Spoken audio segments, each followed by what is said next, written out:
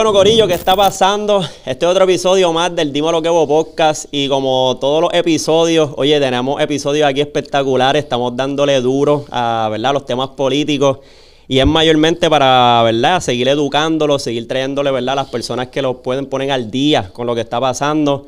Yo no soy un experto, pero te traigo a los expertos para que tú te puedas instruir Así que hoy no es la excepción y tenemos, ¿verdad?, una persona que está con nosotros que es súper importante. Así que antes de yo decirte quién está con nosotros, estás viendo en pantalla, oye, los anuncios que están aquí, ¿verdad?, para ayudarnos a seguir promoviendo estos episodios grandísimos como el de Se ve cabrón. Oye, si estás buscando la ropa que sea manufacturada en Puerto Rico y que esté durísima contigo, tienes que entrar a esta página, puedes buscarlo en Instagram, puedes buscarlo en el Facebook o en mi Linktree para que llegue al website y consigas la merch. Esté pendiente porque como han visto en las corridas de los sábados en la sesión, hay un montón de merch que va a salir nueva para todas esas personas que están fitness, así que tú esté pendiente. Lo que estás viendo siguiente es el anuncio de Carlos Avilés, ¿verdad? Que nos está proveyendo este hermoso espacio aquí en el dealer del futuro. Así que si tú estás buscando un carrito, tú lo único que tienes que hacer es llamar al número que está en pantalla y venir al mall de San Juan y decir, mira, aquella camioneta que tú ves allí, esa es la que yo quiero. Yo la quiero cambiar por mi carrito porque se ve dura. Así que llama al número en pantalla y ahí puedes ir, ¿verdad? El dealer del futuro y salir con el carro del futuro tuyo. Así que sin más preámbulos, estamos ready aquí para comenzar y le vamos a dar, ¿verdad?, la bienvenida a uno de los candidatos, ¿verdad?, a la gobernación por el Partido Popular Democrático, Jesús Manuel. ¿Qué está pasando? Oye, gracias, gracias, Kevo, a ti, a la gente que nos ve. Un saludo, un placer estar contigo aquí. Hacho, gracias. Que te agradezco la oportunidad. Esto es súper grande para mí porque siempre eh, tener escenarios donde tú consumes todos los días, como que personas que tú ves diariamente en la televisión, en el periódico, como que tener la oportunidad de hablar, ¿verdad? One on one con la persona, para mí, yo creo que hasta me ha ayudado literalmente en cómo uno ve las cosas, porque yo seguía de cerca la política porque mis papás trabajaron muchos años en la política, hace mucho tiempo. Trabajaron yo creo que alrededor de 20 años en, la política. Este, mi papá trabajó mucho tiempo con el secretario de Educación de Prensa y todo, en, en su campaña y todo. ¿Secretario de Prensa era él? Eh, no, perdóname, él trabajó con el secretario de Educación, ah, pero trabajó en prensa con él allí. Ah, pues mira, pues en prensa también trabajé yo. De eh, lo que he hecho, yo era secretario de prensa, después te, diré cuando me pregunte de dónde vengo, y pero de ese campo, de ese mismo campo. Pues mano, yo como que crecí desde chiquitito con, todas estas figuras y, pues, uno las veía diario y, mayormente en la parte de educación eh, vi mucho lo que era Víctor Fajardo, vi a Rafael, o sea, vi un sinnúmero de secretarios de educación que estuve ahí. Y, y, mano, pues verlo aquí es una oportunidad y gracias, gracias por esto. Oye, gracias a ti. Yo creo que yo te puedo decir que yo me siento, me siento afortunado de que me tocó este rol en una época donde se democratiza el acceso a la información. O sea, porque hace 20 años posiblemente un candidato a gobernador no tener la oportunidad de venir a un, a un medio como este, un foro como este, a hablar contigo, hablar con, la audiencia que está viendo el, podcast. Antes esto era noticiero, noticia, ah. periódico y radio. Se acabó el evento. Pero de verdad que es una oportunidad importante y lo agradezco mucho que me, me des ese espacio. No, y la candela, porque en televisión es más candela. Ah, no, no dejan hablar. son mandando fuego, son mandando fuego. este, aquí en Maslow, aquí, aquí tenemos un poquito más de espacio este, y tú te puedes tardar todo lo que tú quieras sobre el tiempo estudio. eh, Típicamente yo, ¿verdad? Con esta entrevista busco que, ¿verdad? Las personas te puedan conocer más de cerca. Y yo lo que hago es que trato de, primero, poner de mentir todos los tabúes que podemos tener acerca de cualquier candidato. En el caso de Jesús Manuel, eh, ¿verdad? Los primeros tabúes que yo quería ir mencionando, siempre en, el sector juvenil tú escuchas como que, bueno, ¿quién es Jesús Manuel? ¿Será que o no lo conocen? O como que sea, realmente cuando tú escuchas este tipo de cosas, como que realmente la gente conoce a Jesús Manuel. Mira, déjame decirte, yo creo que poco a poco eso ha ido aumentando. Eso tiene una razón de ser. Yo no llevo mucho tiempo en la política. O sea, yo soy, yo fui electo a la Cámara en el 16 y en el 20. O sea que prácticamente estoy terminando el segundo cuatrenio. Pero yo estoy corriendo una papeleta ahora mismo contra tres personas que llevan más de 20 años en candidatura. ¿verdad? Eh, dos de ellos que han corrido a nivel nacional por más de 20 años. Así que sí es normal que en, este, en mi caso, que soy el más joven de los cuatro, pues que posiblemente sea el menos conocido porque he estado menos expuesto a la, cosa política, ¿verdad? Eh, que, los demás. Así que sí, pero también te tengo que decir que yo voy a lo que es mi tercera elección en un año. Yo tuve una elección para la presidencia del partido en mayo del año pasado, tuve una primaria ahora en junio y ahora voy para la tercera elección. O sea que eso también, a eso le sumo las dos carreras de acumulación de representantes que me, llevaron a correr toda la isla. Así que eh, es, un, es un reto, es un reto. ese factor reconocimiento. La gente piensa que con que tú salgas en un noticiero dos veces ya todo el mundo te conoce. Eso no es así. tú sabes, tú tienes que repetir y repetir y salir muchas veces hasta que la gente te ve tu cara. Y, ah, y entonces después que ven tu cara, te viene la otra etapa, es que puedan unir tu cara con el nombre. Y en vez de, no, mira el trigueñito de los espejuelos, o mira el de la barba, no, pues, ah, Jesús Manuel, pero ¿cuál es Jesús Manuel? Ah, espérate, Jesús Manuel y la cara, unirlo, pues eso toma siempre un tiempo, ¿verdad? Y, es un reto, así que no me está malo y creo que es parte de la dinámica. De hecho, me siento hasta cierto punto bien porque significa que, que estoy entrando a un mundo donde eh, eh, llevo menos tiempo que los demás, por lo tanto uno, uno tiene una perspectiva más fresca que, que los demás candidatos. Mari, yo creo que este, esa pregunta para mí era clave porque básicamente ese es el punto de, verdad de este podcast y, llegar a los jóvenes que quizás están viendo esto porque yo pues tuve un sinnúmero de cosas y la gente en las redes sociales como que no se informa mucho. La gente va con lo primero que vio y eso, es lo que hay. Es el eh, reto. Sí, y entonces, pues, es verdad, tenemos candidatos que, que, todos traen una propuesta a la mesa y yo creo que todos tienen, ¿verdad?, la, la oportunidad de que todo el mundo las evalúe y de que todo el mundo las vea para poder elegir a la persona que realmente va a dirigir el país con, con responsabilidad. Cuando tú ves que de repente este, hay otros candidatos que se sumergen demasiado en, en, en estas plataformas, atacan al sector juvenil, ¿cómo ¿verdad? ¿Cuál es tu reacción hacia, hacia esta...? digo, yo creo que atacar a los jóvenes, por la razón que sea, es hasta cierto punto un poco incomprensible porque no veo una razón por la que hay que hacerlo. Al contrario, como te dije al principio, nos tocó una era donde los jóvenes tienen mucho acceso a información y eso es positivo, porque o sea, yo, yo no yo quiero que la gente vote por mí pero conociéndome, sabiendo, mira, él cree en esto, él propone esto, dijo tal cosa tal día. No es que como que déjame votar por ese, tú sabes, porque, porque no tenía nadie más. esa no es la dinámica. Así que no, no auspicio ese tipo de, acercamiento. Creo que los jóvenes es importante que participen, además de toda la población, ¿verdad? Pero en este caso, que yo sé que tu audiencia es, de un grupo más joven, pues, pues esa es mi exhortación siempre. Hay que meterse en estos temas, porque, y te felicito por eso, y a todos los que hacen contenido que han estado recientemente también tocando los temas. Porque al final, esto se trata de un pase de batón. Vino gente antes de mí, antes de mis papás, antes de mí. Me toca a mí. A mí me toca pasar un batón. Cuando, y cuando hablo, de mí, pues hablo de mi generación, no, no solamente de mí. Eh, pero esa, esa generación que le toca coger el batón, tiene que prepararse. Tiene que fiscalizarnos. Para que tú sabes, oye, brother, déjame un, déjame un país que yo pueda, tú sabes, no me dejes ahí un, carro que no prenda, ¿ves? Eh, y en ese sentido, esa participación es fundamental. Eh, eh, y la exposición que uno tiene también es importante porque les permite a todos los que nos están viendo aquí hacer esa fiscalización. Y yo, yo, de verdad que yo no tengo ningún problema con eso. No, mano, y verdad, una de las cosas que yo, yo veo mucho como que, que, está pasando es el hecho de que realmente, pues quizás al meterse el sector juvenil, unieron dos problemas que ya estaban pasando, que es lo que uno tiende a ver en las redes, y quizás este es el reto mayor para partidos como el, PPD y el PNP, que de repente se ha creado esta tendencia real de que, oye, son corruptos, eh, han hecho las cosas mal, eh, todo lo que hemos tenido hasta el momento han sido estragos uno tras otro.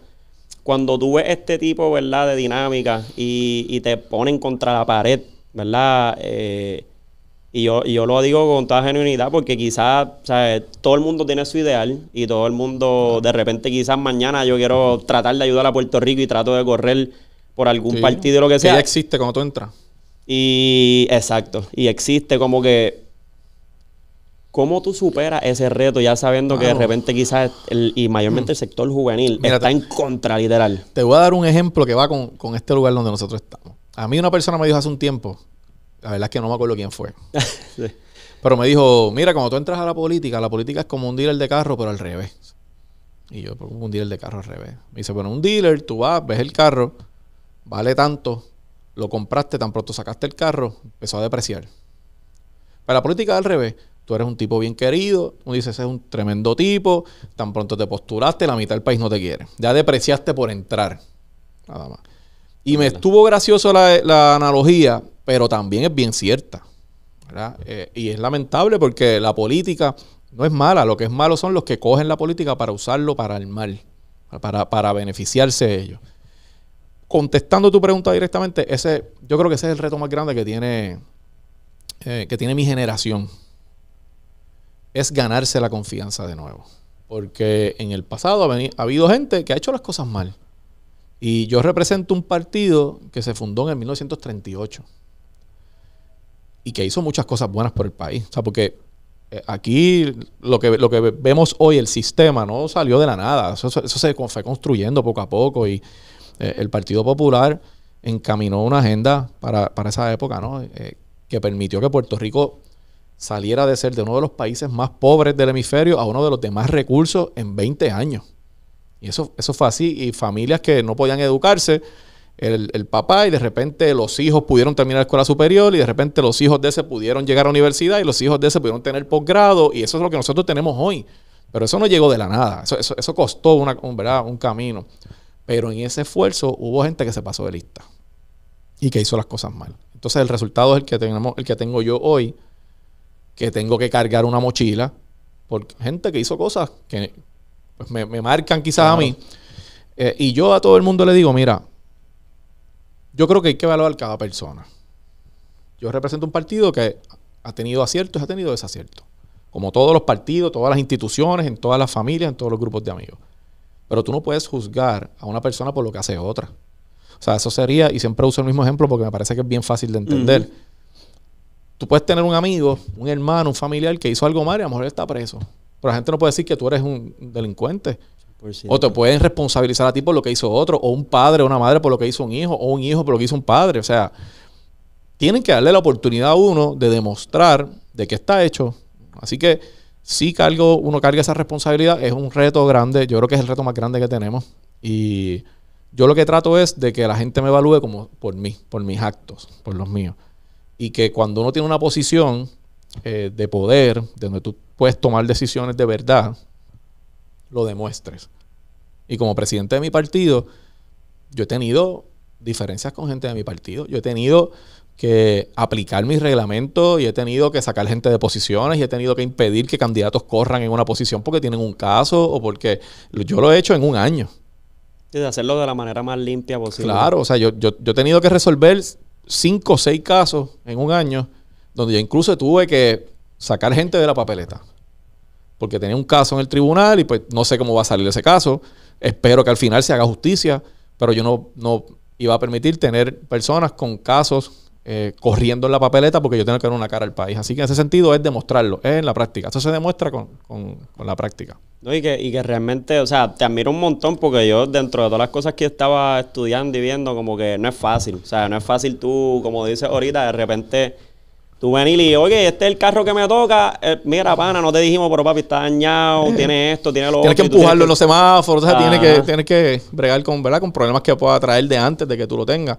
Eh, pero han levantado el partido bien brutal, por otro lado. Porque hubo, hubo, o sea, durante este cuadreño, o sea, la, la conversación más frecuente era el Partido Popular, o sea, existirá al final del día en la papeleta, se va, o sea, se va simplemente a, extinguir o, qué es lo que está pasando. Y, yo creo que el llevarlo aquí es, de admirar, es de admirar y más cuando quizá la gente, ¿verdad? Lo que está acentuando es lo malo. Y y yo pienso que obviamente, o sea, cada partido ha hecho, ¿verdad? Lo que, lo que tiene que hacer por, Puerto Rico, pero como tú dices, muchas veces se ha manchado con, cosas que de repente, pues, medimos todo el mundo por la misma vara. Claro, y mira, si tú, si tú evalúas las papeletas, yo me atrevo a decir aquí que el Partido Popular es el único partido de los tradicionales, ¿verdad? Porque hay dos partidos que se acaban de fundar, que de verdad está renovando su liderato. O sea, nuestra papeleta está compuesta por un montón de jóvenes por personas que corren por primera vez,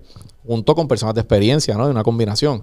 Pero cuando tú ves el cuadro, te das cuenta que hay una renovación de liderato ocurriendo. Claro. Lo tienes que mirarlo, tienes que verlo realmente. Y cuando lo comparas con otros partidos, por ejemplo, lo comparas con el PNP, lo comparas con el mismo PIB, o sea que en el caso del PIB, son los mismos candidatos hace tres elecciones. Pasa que se han cambiado de posición. Y en el PNP tienen los mismos candidatos. Eh, nosotros tenemos muchos candidatos nuevos y candidatas que, pues, que vienen a servir por primera vez. Así que hay que demostrarle a la gente con, ¿verdad? con la oportunidad de, de, verdad de si lo que estamos diciendo lo hacemos con la acción. Y eso nos toca a nosotros hacerlo. Y cuando la gente de repente dice como que no, pero es que darle la oportunidad, si se le hemos dado ya siete, cuatro veces, cinco, que, que, que de repente es como que lo primero que uno puede en esa situación. Mira, yo, yo creo que lo que te contesté en la pregunta anterior, yo creo que, o sea, tú no puedes evaluar a una persona por lo que haya hecho alguien antes. Este, y en ese sentido, digo, ha habido, nosotros hemos tenido una crisis desde, yo te diría que en los últimos años fuerte, pero hay que, hay que evaluar la razón de la crisis, ¿verdad? No, creo que todo lo que haya sucedido, ¿verdad? Sea absolutamente negativo. Ha habido problemas que hoy estamos manejando, esa es la realidad, pero, pero yo pienso que se debe evaluar cada candidato en sus méritos, quiénes de verdad le dicen la verdad a la gente, dónde han estado cada cual, cuáles han sido sus acciones. Eso parece, me parece que es lo más, lo más razonable. Lo más razonable. Yo tengo de ahí, ahí mismo, una pregunta que va a dar a dos, como que básicamente, ¿cuál es la diferencia entonces que quizás Jesús Manuel trae a la mesa, ¿verdad? Perteneciendo al Partido Popular Democrático y que quizás es la oportunidad que la gente debería evaluar para darle esa oportunidad y ver que es diferente a los demás. Yo te diría que, que mi origen, yo no soy el político tradicional. Y, yo creo que quizás, quizás no te debía haber contestado eso al principio un poco, de dónde yo vengo. Yo soy natural, yo nací en Bayamón, pero me crié en Vega Alta. Eh, soy un estudiante de escuela pública toda mi vida. Escuela, mis hermanas de escuela pública, yo de escuela pública, mis papás, mis hijos. O sea, yo toda la vida he estudiado aquí, no he estudiado en otro lugar que no sea en Puerto Rico. Eh, fui papá bien joven, a los 21 años. Ah, ya tengo, ya soy abuelo hace una semana. De verdad. Porque yo, yo tenía, a los 25 tenía tres hijos, el del medio, que tiene 23, ese es papá, hace una semana, así que soy abuelo joven. Eh, pero, pues yo tuve que desde, pequeño, desde joven, con 25 años, echar para adelante tres hijos sin haber terminado la universidad. O sea, tuve que, yo sé lo que es trabajar dos, tres trabajos por la noche, sacar la familia para adelante. No vengo de una familia de política. Yo entro a la política, yo te diría que por yo no sé si decir por casualidad o por destino, pero yo lo que era era periodista de radio. Llego al mundo de la política por accidente. Eh, luego de eso soy secretario de prensa en una agencia de gobierno, secretario de prensa en, una en la campaña de la gobernación, secretario de prensa del gobierno, secretario de asuntos públicos en el gobierno y en el 2016 corro por primera vez y gano. Soy el único nuevo que ganó en mi partido y me reeligen en el 2020, 2023 corra presidente, me eligen y corro para la candidatura y me, y me eligen de nuevo en junio. ¿Por qué te, hago la historia? Porque yo creo que mi origen me permite saber de verdad lo que pasa en la gente como yo. O sea, de tener que comprar una casa con la ayuda del gobierno, de tener que tener un periodo de tiempo en la que te ayude, ¿verdad? Eh, eh, los beneficios del gobierno en lo que tú consigues empleo. Eh, de tener que pagar la planilla, esto, lo otro. De, de, ser, de ser, de no tener trabajo y echar tus hijos para adelante. Yo hago siempre una historia. La primera vez que yo fui a una actividad del Partido Popular, realmente yo fui a vender una, eh, agua porque no tenía empleo y tenía a mis hijos y tenía que sacar para adelante. Y yo fui a esa actividad del Partido Popular y 24 años después soy el presidente del Partido Popular. Eso fue en el año 2000. Sí, que tú fuiste allí porque fuiste a josearla, Yo fui porque no, mira, te voy a hablar la clara. Yo fui porque no tenía trabajo y mi papá me dijo, mire, hermanito, usted va a tener un hijo, usted se tiene que ser responsable. Y me regaló seis cajas de agua. Y yo fui a Barcelona, allí donde están los outlets, que había un terraplén allí en la número 2, y me vendí mis cajas de agua para llevar para, para mi casa lo que tenía que llevar. Y eso fue en el año 2000.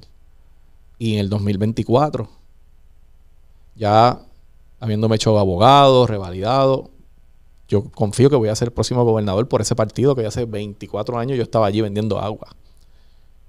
Te hago esa historia porque yo genuinamente pienso que, que yo puedo saber lo que, el que estar en los zapatos de la gente porque he estado en esos zapatos y sé lo que es sentir que el gobierno abandona a uno y sé lo que sentir que, ¿verdad? Que, que uno tiene todas las apuestas en contra. Y es, ese origen, esas vivencias, yo, yo estoy convencido que me hacen a mí saber a quién yo me debo me debo a la gente que se ha tenido que fastidiar como me lo he tenido que hacer yo para llegar a salir para adelante. Así que eso me hace distinto a otros candidatos que han tenido otras historias de vida, ¿verdad? Y, pues que antes quizás las han tenido eh, mejor o diferente y eso pues yo lo respeto, ¿no? Eh, pero ese origen, esa historia, esos conocimientos, esas vivencias, te marcan. Y, y, yo creo que es lo que permite que en tus decisiones tú siempre tienes en la mente que yo estoy firmando aquí algo, pero allá afuera hay un montón de gente pasándola mal, eh, necesitando servicios, y si esto que yo estoy haciendo realmente ayuda a esa gente o no.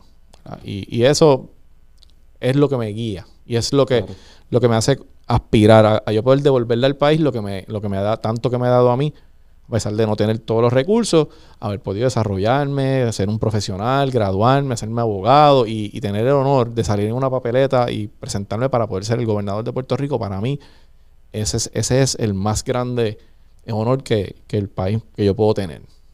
Entre, en verdad, es, es conmovedor porque realmente esta es la parte que quizás uno nunca ve de, ¿verdad? de los candidatos y, y, está brutal que quizás de repente, oye, ganó, ganó Jesús Manuel y tiene un podcast ahí con un chamaco que contó su historia. ¿Quién es ese Kevo que estaba ahí?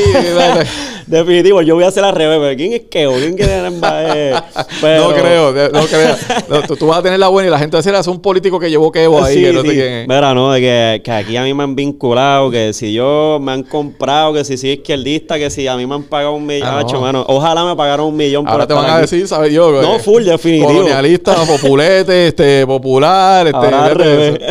mano. Pero... Pero esta es la parte que, fíjate, eh, eh, eh, es, buena saberla porque esto es lo que delimita la intención real del ser humano que, tú eres, ¿me entiendes? Y, que, y que eso es lo que pesa al final del día. Que quizás a veces hoy, cuando uno ve todo el tiempo, ¿verdad? en la televisión o lo demás, por el ajoro, por el tiempo, uno va a temas más puntuales, uno hace esto y lo otro. Y quizás no te dan el break de de repente expresarte, coño, mano, yo estoy haciendo, ¿sabes? Esto porque yo lo quiero hacer, porque tuve un sueño un día y de repente no creo que, es válido que tú me estés juzgando por lo que hizo otro que no, ¿verdad? Que no, pasó. de verdad que, de verdad que no, no, no lo es. No debería ser así. Porque si aplicamos esa misma regla a otras cosas, oye, pues, ¿sabes? Digo, lo voy a decir como lo siento. ¿Sabes? Tú sabes cuántos truqueros hay por ahí. Claro. Y entonces si tú juzgas a uno porque viene de X sector y en este sector pasó esto y pues todo el mundo es igual, pues eso, eso no es así. No, y definitivamente sabes que es como, es como ahora. Yo estoy bien consciente que quizás haciendo este, este podcast de repente va a haber mucha gente que, pues, wow, pero tú no estabas con tal y tal y de repente hiciste esto y no fuiste aquí.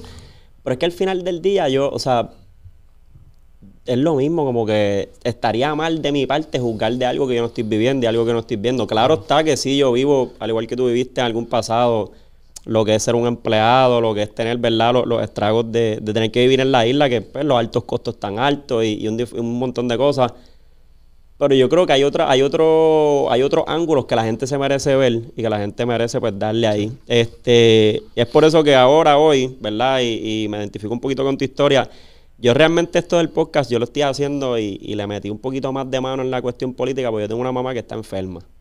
Y a mí me tocó mucho este, ver, ¿verdad?, cómo uno tenía que llevarla al hospital y, ver que habían pocos profesionales, que los hospitales estaban llenos y que, ¿verdad?, hoy precisamente hoy día ella vive con respiradores, tiene unas dificultades, pues ya tiene esclerosis lateral amiotrófica. Y quien vive con esa enfermedad en la isla, pues es, un poquito aterrador porque ahora mismo tenemos un sistema energético que de repente eh, yo he pasado sustos con ella, que me han llamado, mira, Estamos sin luz, no tenemos gasolina, se nos fue de repente y ella está con el, eh, la máquina de, respiración agotada, está a punto de. Eh. Entonces, cuando tú ves esas situaciones de cerca y tú ves todo lo que está pasando, tú te pones a pensar y te pones, te pones rebelde. Yo, y yo soy honesto, yo en verdad en todos mis podcasts yo le he tirado fango a todo porque yo me. Estamos mandando fuego a todo lo que da y, tienes, toda la, oye, tienes toda la razón, brother. No, no te puedo culpar por eso, porque tú lo estás contando y estoy recordando tanta gente que uno ve en la isla.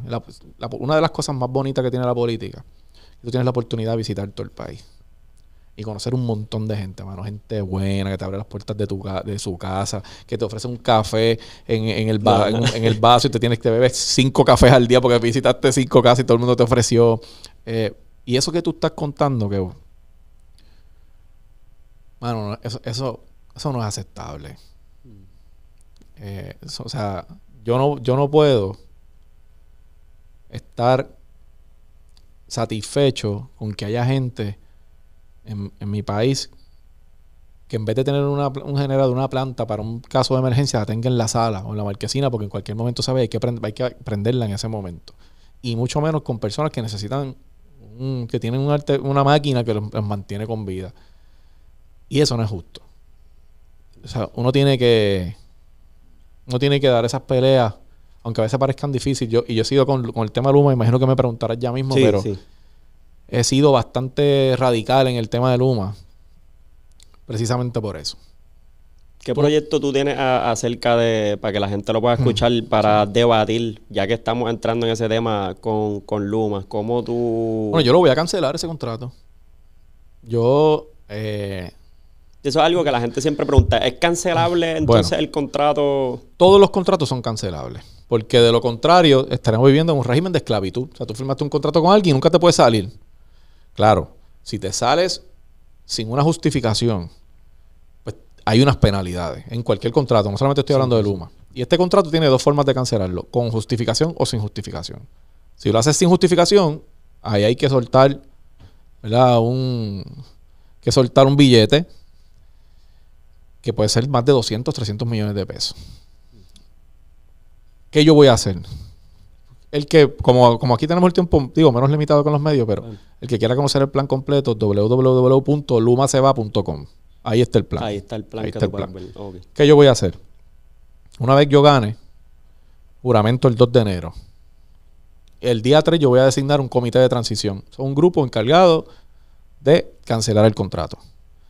Eso va a generar una reacción de Luma y, y pues uno puede anticipar que habrá que ir a los tribunales y ese grupo tendrá cargo de defender al, pueblo de Puerto Rico para que no se pague un solo centavo porque incumplieron el contrato. Yo estoy convencido de que incumplieron el contrato.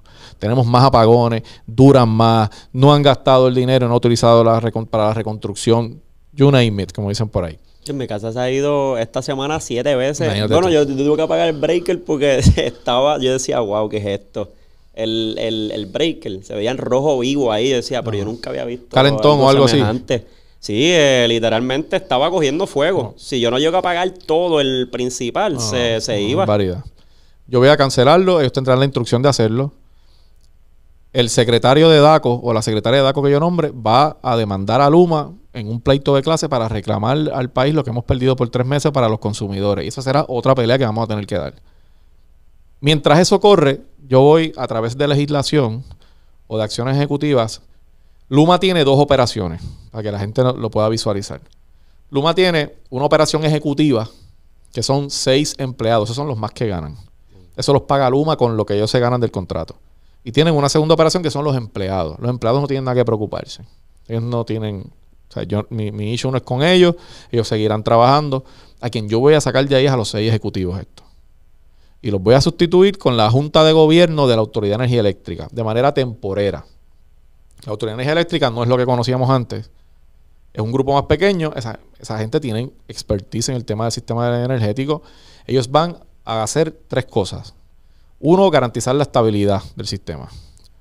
Dos, garantizar la continuidad del servicio, porque esto no es un hecho donde yo puedo irme al tribunal y apago el switch y no prendo más hasta que se acabe el caso. Tiene que haber continuidad de servicio, así que ellos garantizarán esa continuidad. Y tres, presentarme a mí como gobernador un informe del estatus del sistema en términos técnicos, financieros y qué han hecho con los fondos federales. Eso es una operación temporera, porque entonces pasamos al tercer paso. Y el tercer paso es buscar otro operador. ¿Qué operador? Pues antes de llegar ahí, yo, para mí hay cinco puntos que son importantes que tenga cualquier operador. Número uno, tiene que ser un buen contrato. Cuando digo un buen contrato es que lo que tenemos hoy no sirve. Tienes un contrato que le permita al gobierno si la compañía o quien sea el operador falla, que haya consecuencias. Ya sean multas, ya sean penalidades, ya sean cancelación del contrato, lo que sea. Hoy no tenemos esas herramientas porque el contrato es totalmente a favor de Luma. Buen contrato, tiene que ser despolitizado, regionalizado y permitir que los municipios puedan dar unos servicios que ellos tienen capacidad como poda, este, mantenimiento de líneas, etcétera tiene que ser centrado en el servicio al cliente. No puede ser la barbaridad que hay hoy, que tú haces querellas en un sector, haces 10 querellas, hasta se quedan ahí durmiendo el sueño lo justo, hasta borran querellas. Y tiene que ser enfocado en desarrollo económico. ¿Qué significa? Que el, precio, el costo de la energía es importante. Esos 5 o 6 puntos son importantes para mí. ¿Quién es el operador? Comenzar un proceso de licitación el, mejor modelo. Puede ser otro operador privado, un operador público, un, modelo cooperativo, un híbrido. Yo no tengo una obsesión ideológica. ¿Y de cuál? No te, no te vas a casar exacto por Puede haber gente que dice que no puede ser privado nunca, tiene que ser público. Pues mira, a lo mejor hay uno privado que lo hace mejor que el público, siempre y cuando tenga un buen contrato, no lo sé, eso saber en el proceso de licitación. Pero para mí es ser importante que cumpla con esos requisitos y que la mejor alternativa sea la que se escoja. Claro. Esa pelea es dura. Hay gente que yo veo, ah, tú estás diciendo eso, por eso no. Esa pelea es dura, pero esa pelea yo la voy a dar. Y la voy a dar por gente como lo que tú dijiste, como tu caso. Porque yo no, como gobernador, yo no puedo aceptar que haya gente de los que yo soy responsable viviendo en un estado de ansiedad de si su familiar, como tú me dijiste lo de tu mamá, se va a ir la luz y de repente no hay gasolina, la planta no, no, funciona la planta, ¿y qué va a pasar con, esa persona? O que haya, como yo vi los otros días en una entrevista, una señora encamada con una neverita de playa, con hielo para que la insulina no se dañara. Eso es inaceptable y yo no sé quién puede estar conforme con eso. 100%. Pues esa pelea hay que darla, hermano, y hay que darla en donde en el ring que sea, contra quien sea y hasta las últimas consecuencias. Y eso es lo que yo voy a hacer. Ya yo me comprometí con el país en hacer eso y eso es lo que yo voy a hacer. Y, ahora mismo cuando, cuando la gente dice como que no, pero es que los políticos de momento van a, hacer la promesa y de repente no la cumplen, ¿tú, crees que Fair. eso Fair que digan eso. Los entiendo totalmente. Porque ha pasado. Ha pasado, exacto. O sea, yo no puedo venir aquí, decirte de frente a ti, no, eso no pasa. Eso ha pasado un montón de veces. Así que yo entiendo perfectamente la duda. Pues saben que yo me tendrán, me pasarán factura a mí. Claro. Porque esta vez la, la cámara estoy mirando yo. Y yo sé que estoy haciendo la promesa. Y lo que yo no cumpla, la gente me va a decir, ¿sabes qué? No cumpliste. Pues, pues, tengo que bregar con esa. Pero yo estoy claro que me estoy comprometiendo a encaminar una acción y estoy claro que hay una desconfianza. Y que tengo que ganarme esa confianza. Este, y dentro de ese tema que lo tengo ahí, yo, yo tuve, yo tuve uno de los candidatos. Yo no, yo no quiero bypassar mucho hablando de otros candidatos en esta entrevista, porque en verdad eh, tengo unos temas que son más puntuales contigo, pero ya que estamos en el tema, eh, hace poco cuando tuve a Juan Dalmau, eh, nosotros subimos un clip que él, estima que ahora mismo cuando estábamos hablando de Luma, él dice que, que Jennifer González y Jesús Manuel no hablan mucho de lo que genera porque hay contratos, hay cosas este, que obviamente quizás ustedes protegen esto, cuán cierto es o cómo es. En mi caso, yo no sé en el caso de ella, en mi caso nada, no tiene nada de cierto. Yo, de hecho, de los tres, el único que está en récord, porque yo soy legislador ahora, votando en contra de genera la legislatura soy yo. Yo desde el principio dije que estaban en contra de ese modelo de contrato, que yo favorezco otro modelo, que es la compra de energía, como lo que pasa con AES o Ecoeléctrica, que es que tú le compras la energía a un privado, porque creo que eso puede bajar los costos. El modelo de Genera no es el modelo que yo favorezco. Y yo le he dicho, sobre ese contrato, yo le voy a pasar el mismo filtro que le he pasado al de Luma. Son dos procesos distintos, uno es, de transmisión y distribución que genera, que es el Luma, el otro es generación para los que no saben, genera una compañía que literalmente se encarga de generar esa electricidad. Generarla con las plantas de la autoridad, las plantas viejas. Y tiene hasta cierto punto también una encomienda de ir decomisando esas plantas. Se supone que oh. genera decomisa esas plantas porque se supone que hay una inversión en, plantas nuevas, en, en, generación de energía renovable, etcétera, que vaya sustituyendo lo que hay, sacando de carrera lo viejo y entrando lo nuevo. Ahí hay otro problema porque no ha pasado. O sea, el dinero de la reconstrucción, eh, creo que en estos días salió un reportaje y la misma Junta de Supervisión Fiscal diciendo que lo que han gastado es 1, 2% de, del dinero, que hay más de 15 mil millones de dólares para reconstruir el sistema. Así que yo he hecho eh, mis expresiones y Genera tiene, está igualmente sentenciado que Luma. Lo que pasa es que yo voy a bregar con Luma primero y en Genera me meteré en el contrato y si incumplen el contrato tiene que haber consecuencias. Esa es mi posición desde el día uno. Claro. No, y este Básicamente son, son, cositas que, va, que, ¿verdad? La gente siempre está como que... Ese es el main, el, main theme, ¿verdad? De todo lo que se está llevando ahora mismo en la política. Y...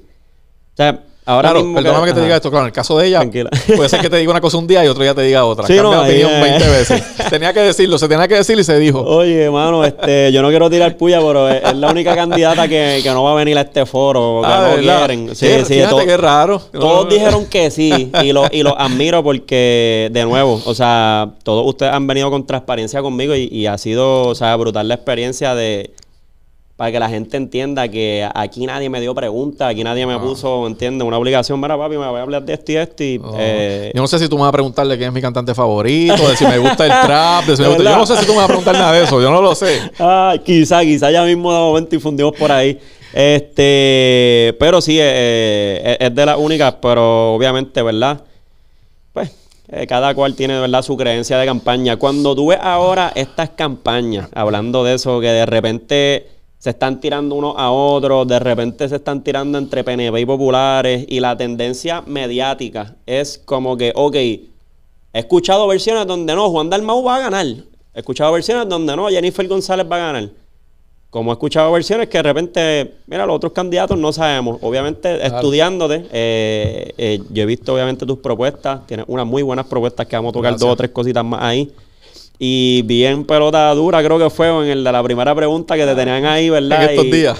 Y te preguntaban, o sea, cuando tú ves estas tendencias, eh, ¿tú crees que esto es real? Lo que la gente está percibiendo, porque al final del día creo que simplemente percibimos lo que estamos viendo, pero la realidad es que no sabemos al final del día hasta que llegue el 5 de noviembre. Sí, claro está que hay dos o tres encuestas por ahí, pero, o sea, ¿a quién le creemos? Porque si vemos la encuesta de Jennifer, ella lo va a poner a su ah, favor. Claro. Si la damos al de Dalmau, pues a favor y quizás la tuya para pues, la tuya. Pero ahora mismo, ¿cómo tú lo percibes cuando tú ves Mira, yo, yo, yo he dicho siempre que esto va a ser una elección cerrada entre Jennifer González y yo. Lo he dicho con transparencia. Eh, tengo que decirte que yo estoy acostumbrado a ser el underdog. Me ha pasado siempre. Por las razones que sea. Mucha gente no pensó que este muchacho de Vega Alta de repente el candidato a gobernador. Pero eso no surge de repente, eso surge porque he trabajado, porque he sacrificado, ¿verdad? He hecho mi trabajo. La gente ha depositado su confianza en mí y yo he cumplido sus expectativas. Eh, pero yo estoy convencido de que yo voy a ganar esta elección, pero va a ser una elección cerrada. Y te voy a decir por qué. Sí, mayormente entre tú y Jennifer. Juan Dalmau no... No, no. Yo creo que, mira, hay un, hay un fenómeno, ¿verdad? mediático que, pues, que impulsa sus agendas. Y uno tiene muchos analistas políticos que impulsan sus agendas y dicen lo que ellos creen o lo que ellas creen, pero es una creencia de ellos, en la mayor parte de las veces, sin estar, sin estar fundamentada en ningún elemento científico. Muchas veces es anecdotal. Se metió a tal sitio de restaurante y le dijeron tal cosa y ellos, ¿verdad? Ven eso. Lo replican. Lo replican. Eh, eh, mis pasadas dos carreras en este último año, en, a mí no me daban ganando en ninguna de las dos. Yo prevalecí en las dos. Porque el país va por un lado y a veces este tipo de dinámica de presiones públicas van por otro. Y el país se está enfrentando en una elección que... Y aquí pues estamos entrando en temas políticos y, y, voy a, decirlo, ¿verdad? De manera por el centro del plato. Esta elección es, aquí se va a definir si el país va a continuar con el mismo gobierno de los pasados ocho años. Porque Jennifer González representa la continuidad del gobierno de los pasados ocho años. O sea, Jennifer González no era una mera participante. Jennifer González ha sido la presidenta de la Cámara o la comisionada residente de todos los gobernadores del PNP de los pasados 20 años. Jennifer González es la presidenta de la Cámara que aprobó la Ley 7 que despidieron miles de empleados. Ella aprobó la Ley 7 siendo la presidenta de la Cámara. Que mi papá fue parte de eso también. mira, no sabía. Pues ella fue la que aprobó la ley 7. Es la presidenta de la Cámara que aprobó la ley de las APP que permite el contrato de Genera y de, y de Luma. La aprobó ella. Y voy a hacer un recuentito aquí. Es la presidenta de la Cámara que junto a Luis Fortuño un mes antes de las elecciones de 2012, aprobaron una emisión de bonos de miles de millones de dólares en energía eléctrica para bajar la factura de luz por dos meses nada más para que la gente votara por ellos y después subirle la factura de luz como pasaran las elecciones. Y, quien aprobó esa emisión de bonos en la Cámara fue ella como presidenta. Y fue la misma presidenta y la misma comisionada que nos vendió con bombos y platillos a, a Rosselló, que nos vendió con bombos y platillos a Fortuño, que después lo hizo con Pierluisi y después se viró y decía al país que íbamos por mal camino, pero se le olvidó decir que íbamos por mal camino con un gobierno del que ella era, es parte principal. Y todo su equipo es el mismo, porque su presidente de la Cámara quiere que sea Johnny Méndez, el presidente del Senado Tomás Rivera Chat. O sea, no hay ningún cambio. Jennifer no representa ningún cambio. En el otro lado, Juan Dalmau, yo tengo una muy buena relación con Juan. Eh, tengo aprecio por, por, él y su familia. Eh, pero primero, Juan Dalmau no tiene un equipo para poder gobernar el país. ¿Con quién va a gobernar Juan Dalmau? Juan Dalmau tiene dos legisladores. ¿O es que el país está buscando un gobierno compartido de Rivera Chate en el Senado y Johnny Méndez y un gobernador de otro partido? En este caso, estamos hablando de Dalmau. No tiene como adelantar una agenda de gobierno, porque no, no, no va a ganar la Asamblea Legislativa. Lo que tiene son dos legisladores. Dicho eso, tienes un extremo en la derecha con Jennifer, tienes un extremo en el otro lado en la izquierda con Juan Dalmau y tienes una alternativa en el centro político, que en este caso la represento yo, que tengo un partido que tiene la fuerza política para poder gobernar. Tenemos hoy mayoría en la Cámara, mayoría en el Senado y mayoría en alcaldía. Y con una agenda que busca atender los problemas de la gente. Yo, yo estoy seguro que la gente debe estar de acuerdo conmigo aquí en que el tema del estatus, mientras estemos en una quiebra, no va para ningún lado. Pero para salir de la quiebra hay que administrar el país que tenemos, creer en el Estado Libre Asociado para, para, que mejore. Y eso, y eso me obliga a hacer la siguiente pregunta. Cuando Jennifer González ha tenido que tomar una decisión que beneficia al país pero afecta a la estadidad, ella se ha ido por la decisión de la estadidad. Así el PNP eliminó las 936 porque su visión es ideológica. Juan Dalmau lleva 25 años defendiendo la independencia. ¿Alguien cree que si él tiene que tomar una decisión que fortalece el Estado Libre Asociado porque trae unas herramientas, fondos federales, etcétera, pero afecta a la independencia, él va a tomar una decisión que afecta a su propio ideal? La contestación es que no. Él ha hecho expresiones públicas diciendo que el independentista está para traer la independencia y yo respeto eso. Yo respeto ambos ideales. Pero hoy necesitamos un buen gobierno. Y yo voy a traer una alternativa de buen gobierno para cancelar el contrato de Ruma, para darle servicio a los adultos mayores, para poder hacer propuestas para evitar la migración de los médicos y profesionales, entre otras cosas. Así que yo estoy convencido de que yo tengo la agenda correcta y la prioridad correcta que, que el país necesita en este momento histórico. Y cuando ellos dicen, por ejemplo, porque Juan Dalmau se ha visto un sinnúmero de veces diciendo literalmente que, que quizá, y lo traigo a la mesa porque es lo más que está ahora mismo en tendencia, yo creo que está más, en tendencia que hasta Jennifer en ese caso, siempre le traen la misma pregunta, como que la gente sabe que de repente su ideal es súper independentista y que, y que obviamente eso es lo que él, ¿verdad?, ha defendido por muchos años. Pero cuando esta persona de repente dice que, que no, que va a respetar, por ejemplo, el, país yo había buscado estadísticas más o menos y la mayoría estaban en las últimas estadísticas como en como que en esta, o sea, son estadistas básicamente la mayoría de las personas. Último plebiscito sí ganó la, estadidad. Este, claro, no pusieron el ELA en la papeleta, eso es importante decirlo. Ah, ya. Eh, pues es un factor bien importante para la gente. Claro, claro. Pero este que vaya, eso, es interesante porque tú crees que no lo pusieron. Bueno, porque saben que si ponen el ELA. Lo cogen ahí. El ELA, cada, vez que el ELA lo han puesto en la papeleta, ha ganado. Pues de repente, el del 2012, me parece, empezaron a sacarlo. Y entonces se inventaban otras definiciones, ponían otros nombres. Entonces, pues, de ahí para acá, como que se, ¿sabes? Se tergiversó todo este caso y ya, pues, pues son procesos cargados. Pero nada, tú me estás haciendo una pregunta. No, y, no, y, tienes toda la razón. En verdad, yo creo que hay un, sinnúmero de telarañas, como yo digo, de información, desinformación, información, que la gente entonces anda como un poquito media nebulosa en cuanto al tema. Este, Me a preguntar por lo que dice Juan, yo creo. Sí, básicamente con lo que dice Juan es como que donde quiero ser puntual con él es que él establece que no importa su ideal, él quiere trabajar. Si, oye, pues gana el Estado, pues voy a trabajar para el Estado. Pero entonces, de repente, eso es posible. Es la pregunta. Para una persona, porque de repente yo pienso en este panorama, como que los PNP llevan un montón de tiempo tratando de, de cabildear, ¿verdad? Lo que es la estadidad, pero básicamente hemos estado en lo que es básicamente el ELA. Como que... Tu pregunta es si, si gana, si viene la independencia. esa es la pregunta. No, básicamente mi pregunta va mayormente en si, ¿sabes? ¿Es real que un candidato proteja y defienda lo que realmente el pueblo quiere en, términos del estatus. Como que, o él de repente va a trabajar todo. O sea, la creencia es que él todo lo va a trabajar en base a esa independencia. Bueno, uno tiene que contestar esa pregunta a base de la experiencia. La experiencia que, tenemos es que todos los gobiernos estadistas han impulsado tratar de que la estadidad se acerque. Y tú sabes una cosa, eso es legítimo.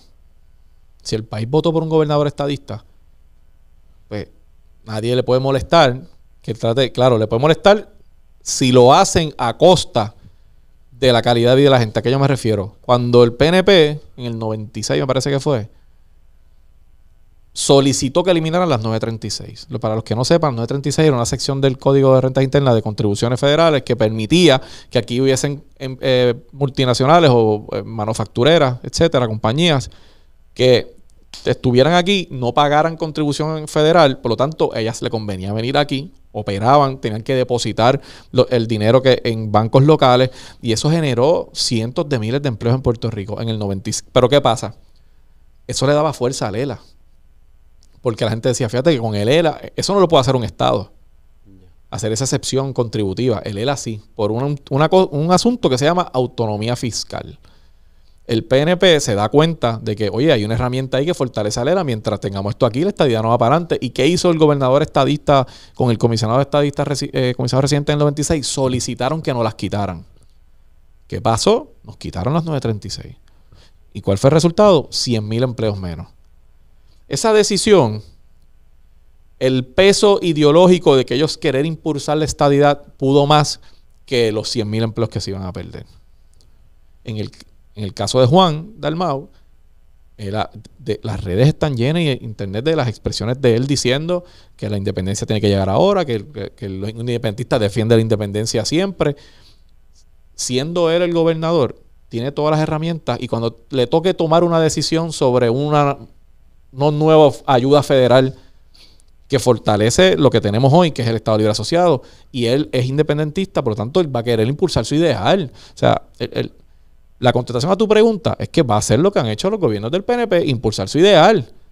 Yo no estoy criticando eso, lo que estoy diciendo, el país tiene que saber que en ese caso él eh, tratará de adelantar la independencia.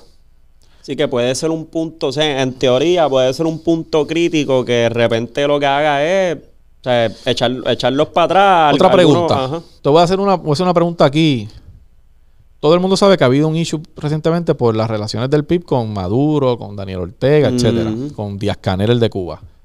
¿Alguien cree que un presidente de Estados Unidos va a darle más fondos federales a un gobernador que tiene relaciones de amistad con tres dictadores? Sí, básicamente puede ser un punto bastante crítico porque la gente, o sea, ellos están pendientes también, que eso es lo que la gente dice, como que la gente al final del día también rumora mucho como que no, pero Estados Unidos es el que manda. Ellos son los que dicen. los fondos federales son, son de ellos. Lo que te quiero decir es, el, o sea, pretender que el país crea que él, que él lleva 25 años defendiendo un ideal y de repente lo va a dejar de defender para administrar el, ELA que han atacado y atacado y atacado por décadas, él y su partido. Pues no es real. Yo lo que planteo, yo no estoy criticando el ideal, yo respeto el ideal de la independencia y la estadidad. Yo lo que planteo es, tiene que haber una honestidad con la gente. Yo soy Estado librista. Y como gobernador yo buscaré fortalecer las herramientas de Estado Libre Asociado para que mejore esto aquí y la gente pueda vivir mejor en, Puerto Rico. Pues esa es mi realidad, esa es mi verdad. Yo solo digo a la gente así. Yo no voy a decirle, no, no, yo no voy a, si viene, no voy a luchar en un plebiscito para que el ELA esté, yo me quedaré. No, no, yo, yo lucharé porque creo que la mejor herramienta es el ELA. Igual un estadista va a luchar porque cree que la mejor herramienta es un Estado y un independentista porque cree que la mejor herramienta es una república pues, pues cuando la gente vaya a votar, tiene que saber eso. Claro. No, no, o sea, eso no se puede poner debajo de la alfombra. Eh, así que, en cuanto a la campaña que ha hecho la, gente de Jennifer, que si comunista, que si la cosa, pues ellos están llevando ya al extremo. Y como dicen por ahí, una tiradera, que mientras esa tiradera se da, pues el país está sufriendo con un sistema de energía que no sirve, con gente que, no tiene servicios de, salud, con los jóvenes que están buscando oportunidades, con los empresarios que el sistema de permiso los mantiene castigados con un local que tienes que estar pagando cinco meses en lo que te dan el permiso, se te acabaron los ahorros y tuviste que cerrar, nunca pudiste abrir el negocio, pero no te dieron el permiso. Mientras todo eso sucede, pues hay una tiradera que si comunista, que si el otro, pues mira, pues que ellos se metan en sus tiraderas. Yo sigo haciendo propuestas de verdad para atender la situación actual del país. No, y este, más allá de eso, como que ahora mismo entonces cuando tú ves entonces toda esta tendencia, tú de momento se te da la idea de que como que todos los jóvenes están siendo como que lavados básicamente de cerebro por campañas como esta, para campañas como la de Juan Dalmau. Fíjate, yo, yo, eso sería un poco subestimar la inteligencia de los jóvenes. Yo pienso que hay unos jóvenes que genuinamente este, pueden respaldar su, incluso su ideal de independencia. Eso, eso, eso es sumamente válido. Eso yo defiendo eso. O sea, eso es democracia. Hay otros que no están con él, que están conmigo, pues yo tengo jóvenes que están conmigo, hay otros que pueden estar con, el, este, Jiménez, el de Dignidad, o hasta con la misma Jennifer. Eh, así que yo creo que los jóvenes están buscando información. Creo que no es como algunos analistas tratan de pintarlo, que los jóvenes automáticamente van a correr para aquí o para allá, porque sí. Eh, sí, porque yo tengo una división. Realmente yo, yo, yo dentro de mis redes Fíjate que de repente en las plataformas varían los comentarios. Y de momento en Instagram ah, la tendencia de momento es para uno. Y en TikTok de momento hay un montón, pero un montón de gente, o sea, pensando diferente. Y de momento. Por eso es que ahorita la pregunta fue como que, mano, estaremos viviendo una percepción o una perspectiva de momento de tendencia y no de. Porque, por ejemplo, y, y esto es normal que quizás pase, porque tenemos un artista o sea, top global que de repente dio expresiones, quizás no endorsó a nadie específicamente, pero de repente dijo, mano, no más populares, no más PNP, pero acentuando mucho el PNP. Sí. So, de repente quizás, sea, la gente ahora está cogiendo conciencia y lo demás, pero también puede ser la teoría de que, pues, hay mucha gente, pues, votando por lo que esta persona vota, por lo que me entienden. Yo pienso que no, o sea, yo pienso que volvemos, sería subestimar la inteligencia. Y alguna gente piensa, eh, ¿a qué me estás preguntando por Benito? Alguna gente automáticamente piensa que yo voy a estar en contra de lo que él dijo porque asumieron que habló de los dos, ¿verdad? De los dos partidos. Si tú supieras que yo coincido con la mayor parte de las cosas que dijo él. Yo coincido con la insatisfacción. Yo coincido con la desconfianza que él expresa en sus expresiones. Hasta con el coraje. Cuando tú estás haciendo la historia ahorita, bueno, uno le, a uno le da vergüenza que esté pasando eso. Yo coincido con eso con él. Quizás donde yo puedo diferir es en los que interpretan que meterlos a todos en un pote y todos son iguales. Porque si yo hago, aplico eso a la política, pues entonces volvemos. En otras áreas de la vida, tú tienes que decir que, los que, que por asociación todo el mundo es culpable de lo que haya hecho uno. Y ahí es donde yo tengo una diferencia. Pero yo creo que Benito dijo lo que, lo que muchos sentimos. Esa es la verdad. Es el pensamiento puertorriqueño, exacto. O sea, y coño, tenemos razón, mano. O sea, llevamos. Puerto Rico lleva una situación económica que comenzó a deprimirse cuando lo que te acabo de decir de las 936. Eso fue en el 96, pero duró 10 años y finalmente en el 2006 que se van. O sea que el del 2006 finalmente cerró ese capítulo, se perdieron esos 100 mil empleos y de ahí en adelante empezó una crisis económica que ha ido para atrás, para atrás, para atrás que empeora con la quiebra, que después empeora con María, que después vienen los terremotos, que después viene la pandemia, y ha sido un golpe emocional tras otro para nosotros aquí. Sea, nosotros nos acostumbramos a vivir con las calles oscuras, hermano. O sea, nosotros, nosotros nos acostumbramos. nosotros nos acostumbramos que, a que de cada tres semáforos, dos están, eh, como dicen por ahí, desconchuflados y uno funciona por un lado y el otro no funciona para el otro y de repente ya lo vemos normal. Y eso está, eso está duro. Y, y, la indignación de la gente, yo creo que mayormente es eso, que por ejemplo, o sea, los servicios esenciales, ahí llegaste. que de repente llegaste. tú sepas, o sea, que uno como, como ingeniero o, cualquier profesión que tú tengas, tú estés dando este incentivo al gobierno porque es lo que hay que darle para que las cosas sean funcionales y de repente en últimos minutos no funciona. Y uno se pregunta y uno, una y otra vez como que, ¿cuál es el, el, el problema principal de por qué estas cosas pasan todo el tiempo. Y, pues la gente obviamente acentúa que simplemente es que han sido los mismos que están administrando. Porque yo creo que esa puede ser la conclusión más fácil. Por ejemplo, en, el PIB, que no ha, administrado gobierno, hubo un escándalo de un revolú de acoso laboral y cosas ahí que fue terrible. Y eso se manejó sumamente cuestionable. Hay personas, hay mujeres del partido que hicieron denuncias de que trataron de callarla, de que le tiraron la toalla a los supuestos ¿verdad? hostigadores, los supuestos. Eso pasó ahí. Esa es la realidad. O sea, no nos podemos olvidar. De hecho, en todos lados hay gente buena y gente que no es tan buena. Eso pasa, y eso pasa, ¿verdad? A menudo. Yo creo que Por eso, por eso es que el país necesita, y tú dijiste una palabra clave, una frase, pues son dos palabras. Servicios esenciales. Que yo estoy convencido que este lo que empieza en enero, la prioridad tiene que ser terminar con la crisis de servicios esenciales que tenemos. No son obras faraónicas de construcciones bien grandes. No son. Es que la gente tenga una calidad de vida aceptable. Porque así yo evito lo que yo creo que es el mayor reto que nosotros tenemos, que es la emigración. Nosotros se nos está yendo la gente. De todos lados, o sea, de todos lados, de, ingenieros, porque la gente habla mucho de los médicos que han sido 8 mil, 10 mil y, o sea, es aterrador de repente tú tener una población donde un médico tiene que atender por cada, o sea, un médico para cada 2 mil puertorriqueños por cada región es, demasiado agotador para un solo individuo. Ese es el reto grande que tenemos. yo, tengo algunas propuestas sobre eso, pero para que la gente tenga una idea. Puerto Rico tiene una situación única en la que es fácil tú irte. Yo estoy contigo en este podcast. Salí de aquí por el techo, no me gustó. Me montó el carro, meto a Google Flight, compro un pasaje de 99, 99 pesos, y con mi licencia de conducir llego al aeropuerto y me voy. Y en tres horas estoy fuera de aquí. Eso, tú no, eso no pasa en otro lugar del mundo. ¿Eso es positivo? Bueno, la movilidad es positiva para nosotros como país bueno, esta relación política en Estados Unidos, pero es negativo en el sentido de que cómo tú detienes esa hemorragia de gente cogiendo un vuelo y, a las millas y se van. Y gente que quisiera vivir aquí, pero que ahora mismo no, o sea, no es viable para ellos. Tú tienes que buscar darle calidad de vida. Yo no tengo duda que los boricuas quieren estar aquí. Pero es como si te miran y te dicen, coño, mano, pero dame una razón para estar aquí. Que no sea más que que yo quiero mi isla, que me gusta el país, que me quiero pasar Navidad, que las playas, que otra cosa. Dame una razón para volver.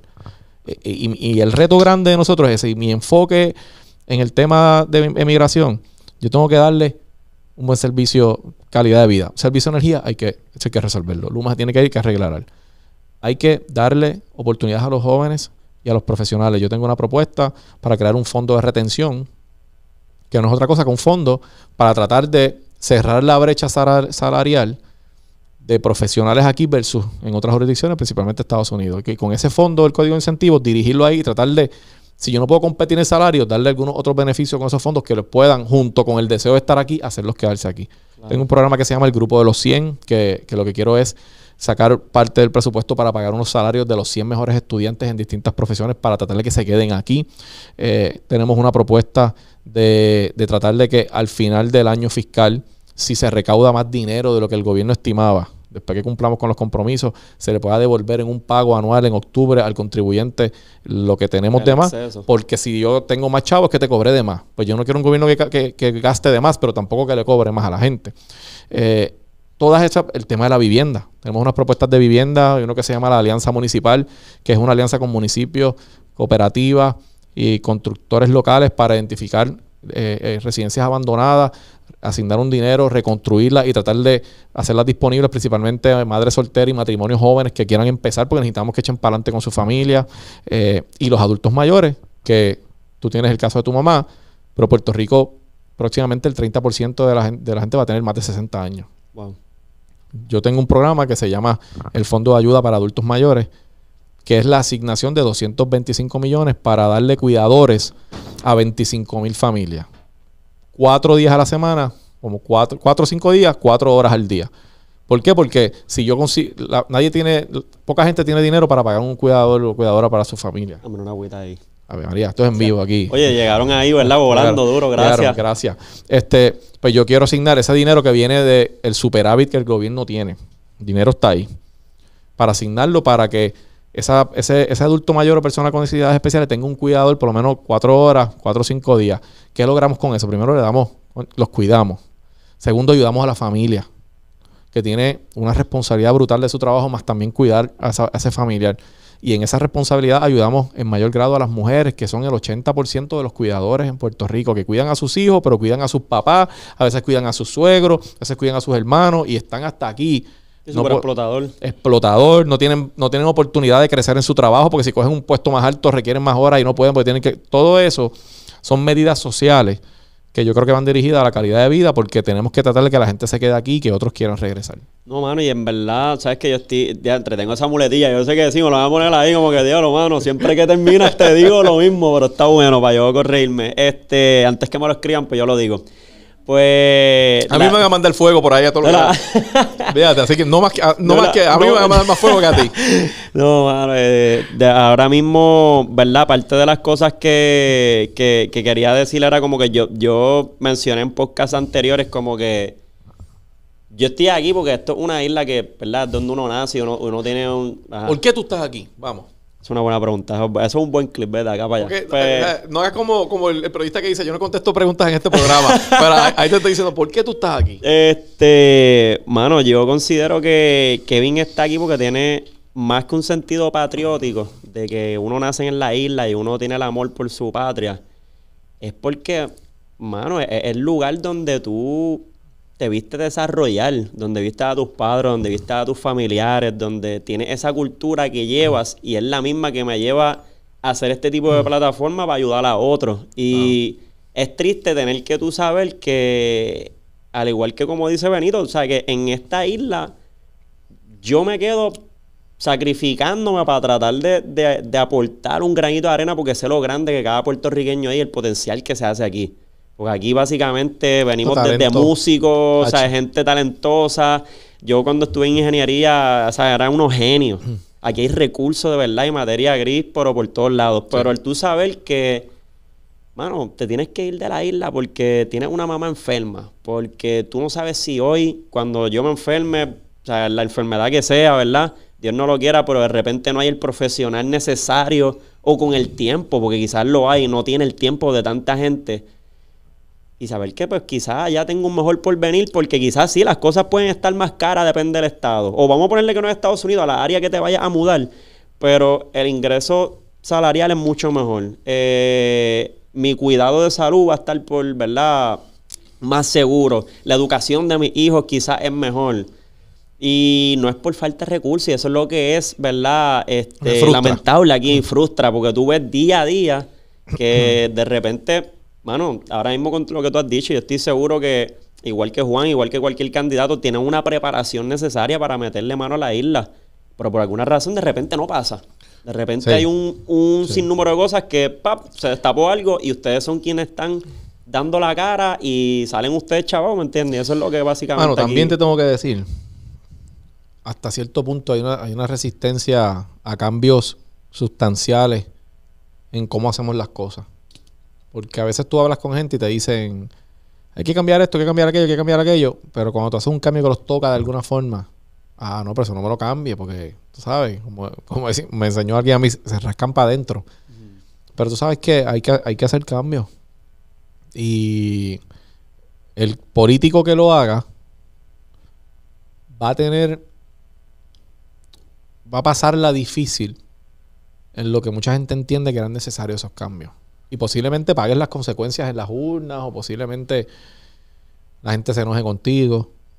Pero yo creo que si nosotros no hacemos cambios sustanciales, vamos a seguir pasando eso que tú dices. Bueno, antes de irnos, como que no quería, no quería que se me fuera. Ahora mismo nosotros tenemos, ¿verdad? Hablando de la educación, como que, que hemos tenido varios años donde cierran un sinnúmero de escuelas, a veces hasta más, más de 600 escuelas públicas. Eh, ¿Cómo nosotros atacamos eso? O sea, ¿cuál es el plan de quizás Jesús Manuel estando en la gobernación o como propuesta para atacar y ayudar a que los estudiantes pues, no se salgan de, las escuelas, que mantener el flujo que había antes? Porque yo sé que cuando yo estaba en la escuela, yo, yo fui también producto de escuela pública y, y tuve la bendición de hasta de repente llegar a la universidad dos años adelantado porque tenían las pruebas, no las pruebas puertorriqueñas, las avanzados había unos grupos especializados y te ayudaban y, de repente yo creo que a veces de repente se ha perdido hasta en los mismos estudiantes esa sensación de ánimo, de estudiar y cómo, cuál es el plan para atacar este tipo de cosas. Mira, educación es la, yo te diría que es la clave para muchas cosas. Podemos hablar de educación para desarrollo económico, podemos hablar de educación para combatir la, la criminalidad, podemos hablar de educación para tantas cosas.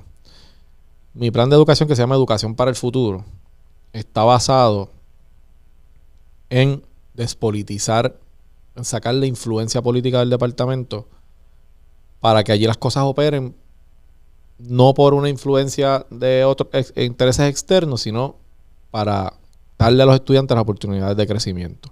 Esto significa que no, no tiene que ver como que ah, me va a ayudar porque yo soy de tal partido o esto, tratar de que o tú estás aquí, tú estás en esta posición, no tienes, no, no, tienes el conocimiento para hacerlo, pero como eres de los míos, te voy a poner ahí. ¿Cómo uno lograr eso? Porque eso es más fácil decirlo que hacerlo, ¿verdad? Y yo estoy claro. Pero el plan, primero, hay que terminar la descentralización. El gobierno federal está impulsando que se descentralice. Cuando hablan de descentralizar es que saquen el poder del departamento a nivel central y lo lleven a lo que ellos llaman unas leas, que son unas como unas regiones. Esas regiones tienen una junta que toma decisiones sobre lo que pasa en las escuelas de esa región. Yo creo que eso hay que hacerlo. Pero además de esas juntas ahí, yo creo que hay que bajar un poquito más y hay que darle autonomía a las comunidades universitarias, eh, escolares, perdón, comunidades escolares para que se tomen unas decisiones allí sobre personal de las escuelas, sobre currículos, excepto un currículo base que el Estado tiene que supervisar, pero que le dé una flexibilidad a esas escuelas para manejar presupuestos, recursos, clases que le van a dar, entre otras cosas, para que le quites a los políticos ese poder absoluto de todo lo que pasa al Departamento de Educación. Eso tiene que ocurrir. Eh, número uno. Número dos. Yo creo firmemente en que hay que hacer una reforma curricular. Y voy a impulsar una reforma curricular porque yo creo que hoy nuestro sistema prepara a los estudiantes para trabajos que no van a existir cuando ellos se gradúen. Sí, como la inteligencia artificial. Inteligencia artificial, el machine learning, eh, realidad virtual, todo eso. Y, si la gente que nos está viendo, hay estudios que plantean que en 10 años eh, casi el 50% de los trabajos que conocemos hoy no van a existir. Van a existir otros nuevos pero muchos de los que se hacen hoy, que son repetitivos, que todos los días obviamente hacen lo mismo y se va a poder hacer por una máquina, nada que no involucre el razonamiento humano de sentimiento y sensibilidad, todo eso se puede sustituir con una máquina ya. O sea, usted va hoy a restaurantes donde usted no ve un solo empleado allí, usted pide una máquina, eh, paga con Apple Pay eh, y allá de momento sale una correíta con el número de la orden suya, lo que usted no ve un solo empleado ahí. Eh, hoy te pueden operar desde otro país con un robot o desde otro salón, desde otra sala de operaciones y te opera un robot y, lo que está es un doctor con unos goggles viendo lo, que está haciendo.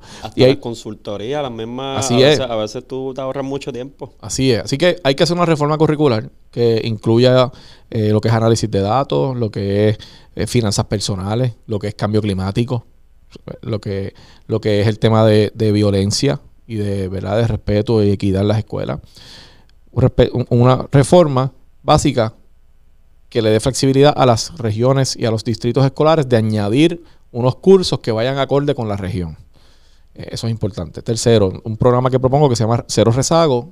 nosotros tenemos un rezago escolar bien alto, que es producto de pandemia, María, Irma, terremotos, todo eso. Eh, que va a, va a permitir crear un programa de mentoría de maestros retirados para ayudar a esos estudiantes en lectoescritura, especialmente de leer y escribir una política de cero celulares en horas lectivas en el salón de clases. Eso distrae a los estudiantes y hay que implementarlo. Hay que atender varios temas más con los maestros, etcétera. Que estoy tratando de resumir. El plan está en jesusmanuelortiz.com. Lo pueden encontrar.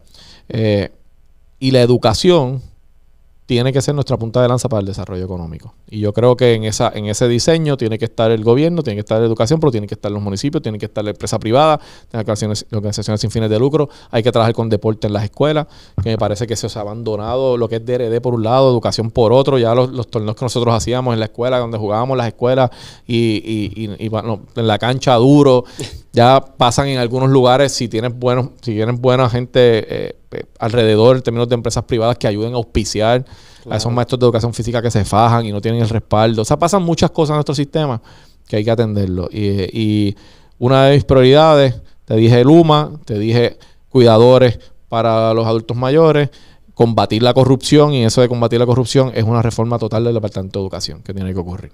Sí, que tiene, eh, piensas que hay que exacto, reformarlo completamente. hay que quitarle a los políticos desde acá toda esa operación de abajo. Hay que mantener el, la educación central como un fiscalizador de un currículo básico y de que el dinero se use bien. Y hay que llevar a las regiones autonomía, se toman decisiones allí. yo no sé si tengo tiempo para darte un ejemplo de algo que, me trajo un me trajo un alcalde para que tú quiero que lo visualice. Este alcalde, cuando yo estoy buscando insumos sobre el plan de educación, me dice: Mira, en mi municipio yo tengo programa de robótica en escuela elemental. Los estudiantes empiezan a hacerse unos duros y se interesan en eso. De momento sales de elemental y vas a intermedia y cuando vas a intermedia no hay robótica. Una ah, está disparejo ahí. Dice, le solicitamos educación que nos diera un programa de robótica en, la escuela intermedia y educación lo denegó. Entonces él me dice, estudiantes talentosos, quizás ese ejemplo de robótica, puede ser de música, puede ser de arte, puede ser de otra cosa. Tú los pierdes en el camino porque no hay un hilo conductor desde que ese niño, esa niña entra en kinder y sale en cuarto año que tú sepas cuáles son las fortalezas de ese niño en la escuela elemental. Que cuando va a la intermedia, los maestros de matemática de intermedia puedan tener conexión con los de elemental y saber en qué es bueno y en qué no es tan bueno este que hay que fortalecer igual la escuela superior. Tú logras eso en un colegio que tú estás de kinder a 12 porque te dan seguimiento. El sistema público no. Te tiraron allí, si te tocó una buena escuela elemental y una, superior, tuviste suerte. ¿Cómo tú atiendes eso?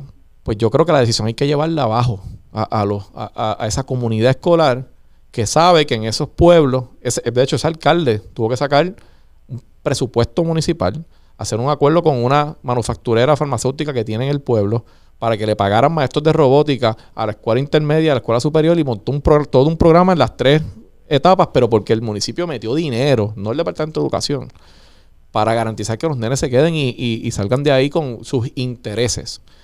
Hay que fortalecer las escuelas vocacionales, eso se dejó por la libre. Eh, así que, nada, cuento algo corto. Esa continuidad no se da en un sistema que está fraccionado. Así que hay que quitar el poder desde arriba, hay que mandarlo abajo. El, departamento es un supervisor eh, de una política básica y una flexibilidad en esos distritos escolares para tomar unas decisiones que ayuden a esa comunidad escolar. Eh, y obviamente eso tienes que enlazarlo, que no lo hemos hablado, con la Universidad de Puerto Rico. 100%. Que yo soy un defensor de la Universidad de Puerto Rico, que es nuestro proyecto social más importante, que puede darle herramientas a jóvenes de Corozal, de Vega Alta, de, San Juan, de distintos del oeste.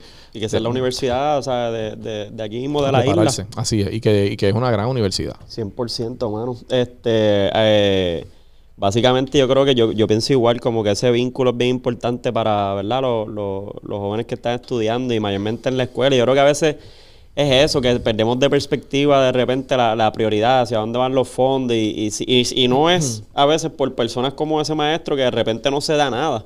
Y a mí me sorprendió mucho haber ido a una convención de maestros hace poco, porque yo hago producción digital y estaba grabando. es increíble ver que, que a veces hasta están desmotivados, como que eran más de 500 maestros y lo único que pidió el speaker que estaba al frente era que lo atendieran. Y de repente estaba todo el mundo usando el celular, hablando y dice acá, pero ¿quiénes son los niños aquí? Este. Los maestros, los maestros, qué bueno que lo dice.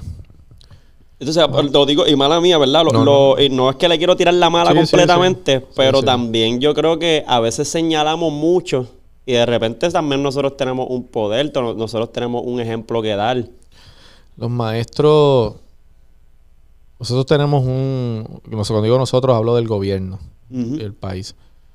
Tenemos una deuda con muchos servidores públicos. Y yo tengo, con muchos, tengo que puntualizar los maestros, tengo que puntualizar los policías. Pero en caso de los maestros, bueno, ¿sabes lo que es estar treinta y pico años dando clases y te retiras con una pensión de 700 pesos? por eso es que de repente los tienes, o sea, eh, se nota que están en tensión y que están, tú sabes, como que... Está duro. Y, o de que no lleguen recursos a tu salón, tú has que estar sacando chavos de tu cheque para imprimir cosas, para pintar el salón.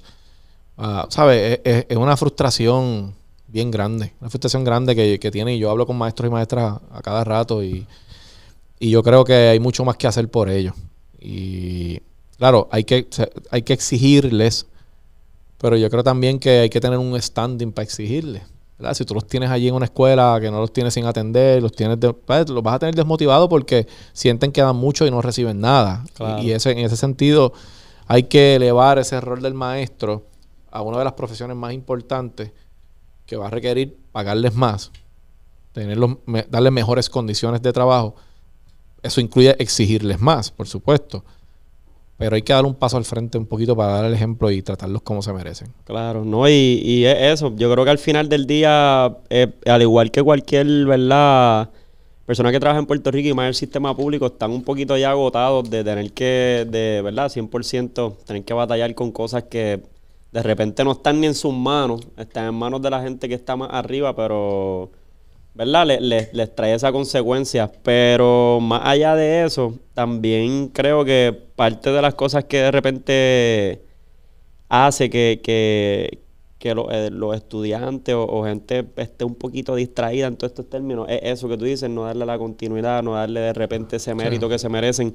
Y la gente está necesitada, porque ahora mismo nosotros, yo no sé si tú has visto, pero nosotros tenemos un grupo de corredores que se llama La Sesión y de repente estamos llenando, llevamos 15 fin de, fines de semana en San Juan y lo llenamos con 150, 200 corredores, gente joven de repente tú ves la necesidad de la gente con conectar con personas que tengan ideales, con querer hacer ejercicio, querer un mejor porvenir. Y ahí es que te das cuenta que en verdad Puerto Rico tiene ganas de echar para adelante. Puerto Rico tiene ganas. Simplemente es que son pocas las figuras que de repente tienen para tú pararte al frente y, motivar a esa persona y darle lo que necesitan, tú sabes, y ya. El borico es fajón, mano, lo que pasa es que, que, tengo que decirlo así, los últimos años vivir aquí ha sido un deporte extremo, tú sabes. Demasiado. Ha sido, ha sido, tú sabes, coño María, este, coño la quiebra, mano, y cuando pensamos que salimos, ahí vienen los terremotos, viene la pandemia, entonces después eh, viene Luma con el desastre Luma. O sea, esto ha sido como que, mano, mándame más, que vamos a hacer más aquí para yo, para yo poder demostrarte que me quiero quedar aquí. O sea, ha sido complicado y, y... ha sido más extremo que los muchachos cambiando la batería claro, Claro, claro. exacto. la maniobra esa que yo acabo de ver aquí rápido. Sí, no, eso fue... todas las cámaras, pues. ¿sabes? Pero, digo, yo, uno lo dice así, ¿verdad? Pero... Pero es que ha sido, ha sido, ha sido duro, ha sido duro y... Por eso te decía al principio, cuando me preguntaste por el tema de la, de la desconfianza que, y lo que dijo Benito y todo ese tipo de cosas que yo los puedo entender, porque el hecho de que yo sea político no quiere decir que yo no las paso, o sea, que yo no las he pasado, yo no sé, o sea, yo, vivo, ¿entiendes? A veces la gente tiene una, mala concepción y te juzgan sin conocerte. Este, eso, eso pasa en todos los ámbitos, pero para que cuando eres político, pues eso viene con una carga adicional, ¿sabes? Viene, viene, viene con una carga adicional y y es por eso que te trajimos aquí. Y yo sé que la gente va a escribir, no, pero tu tarea era cuestionarlo y ponerlo contra la pared, ¿me entiendes? Pero, oye, no, yo creo que, verdad, debo darte las gracias por estar aquí porque ha sido un podcast que realmente tengo que decir que me sorprendió. Porque de repente yo dije, yo no sé si yo lo tengo que poner en contra de pared o él me va a poner la mía aquí con la presión. Y yo dije, yo no soy un súper experto, ¿me entienden esto? Pero trato de de sacar el mejor ángulo de cualquier persona y, lo que quieran llevar a la mesa. Y creo que estás haciendo un excelente trabajo en eso. Gracias. Y, y mano, también un montón porque no es fácil tener que coger la batuta de cosas que ya están dañadas. Es fácil, ¿verdad? Cuando ya tú tienes algo que es nuevo y estás por aquí, pero tener que hacer el trabajo que tú estás haciendo hoy y pelear en contra de la marea y llegar hasta donde está, pues es admirable y, y mano, este, mi pregunta al final de, de, del Dame decirte algo antes que me haga la pregunta. De lo que dijiste de los expertos. Oye, hay que quitar la percepción de que para hablar de política hay que ser experto de algo. Porque a la larga la política de lo que trata es de, de del arte de tu poder gobernar, dirigir un, un, país. Pero tú a quien diriges es al pueblo que son expertos en distintas otras cosas. Eh, eh, a veces algunos en lo mismo que soy yo, yo soy abogado, otros en, ingeniería, otros en distintas cosas.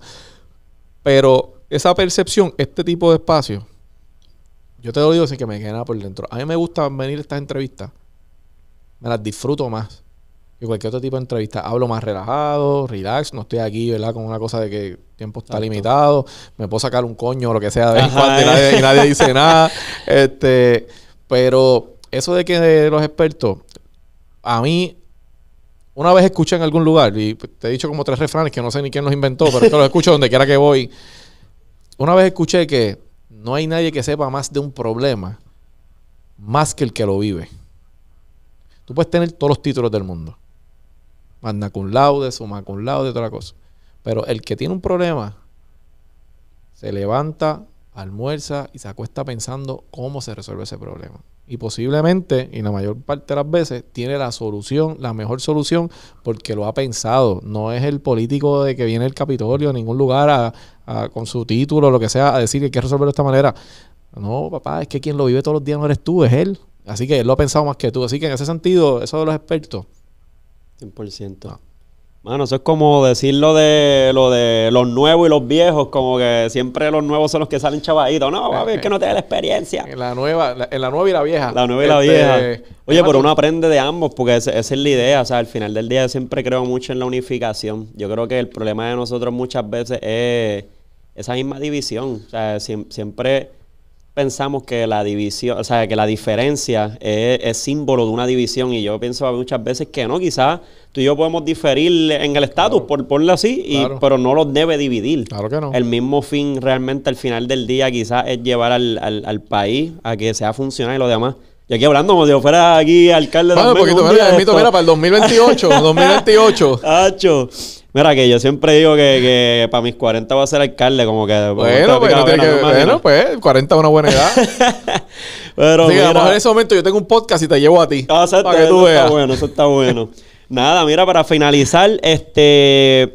Algo que le tengas que decir, ¿verdad? A las personas que te estén viendo hoy. Yo sé que estamos, ¿verdad? Viviendo momentos históricos, estamos viviendo unos, tiempos que realmente para nosotros para Puerto Rico pinta, ¿verdad? Que, son oscuros, pero siempre al final del día hay esperanza y siempre al final del día pienso que, ¿verdad? Hay líderes que, pueden llevar esto a un ángulo distinto. Como persona y, candidato a la gobernación, ¿verdad? ¿Qué tú le dirías a ese pueblo que te está viendo hoy? Yo diría que, que evalúe, me evalúe a mí, que el país lo que necesita hoy, más allá de divisiones, por temas estériles, estatus o por izquierdas y derechas. El país lo que necesita hoy es una agenda que pueda unificarnos para atender lo que es una agenda fundamental para los próximos años de Puerto Rico. Necesita que atendamos la calidad de vida de nuestra gente. que, esa agenda eh, yo se la he estado presentando, que tengo la trayectoria y la experiencia de vida que me permite a mí entender lo que el país vive, porque lo he vivido, porque en muchas circunstancias sigo viviendo, eh, y porque me hace estar claro de a quién yo me debo. A la gente que al igual que yo, con mucho esfuerzo, con las apuestas en contra, con mucho obstáculos en el camino, han salido adelante. Y en mi caso, como te comenté, hoy estoy aquí pero eso pasa con, la madre soltera que echa para adelante a la familia a veces sin ayuda, con el padre que está o madre que están echando para adelante a, sus papás y a sus hijos a la misma vez, o con el pequeño comerciante que se ve a veces con el agua al cuello, pero sale para adelante por su fuerza y por su espíritu de lucha. Eh, y que, eso es lo que yo le voy a, dar al país. Mi trabajo, honestidad, lo que ven es lo que soy, eh, y mi deseo genuino de hacer un trabajo y de cuando yo termine mi término, poder mirar a los ojos a mis hijos y a mi nieta que acaba de nacer y decirle, yo me fajé, di lo mejor de mí, esto fue aquí, y puedo mirarlos a los ojos a todos porque yo me voy a quedar viviendo aquí. me voy a quedar viviendo aquí. Así que, nada, que me den esa oportunidad eh, y yo no les voy a fallar. Y aquí estaré en cuatro años, en, todavía que tú vas a tener tu podcast, eh, contestándote de las cosas que, que pude hacer bien, las que todavía no me han salido, las que no pude hacer y, cómo ustedes ven lo que han sido cuatro años de trabajo intenso como gobernador. Oye, gracias, ahí estamos, mano, tremendo. Este otro episodio más, Corillo. Así que, oye, si te quedaste hasta el final, es porque realmente te llevaste, oye, toda la educación completa que, que estabas buscando. Así que, gracias una vez más por confiar en la plataforma Dímelo Quebo y hasta la próxima. Nos vemos, Corillo. Estamos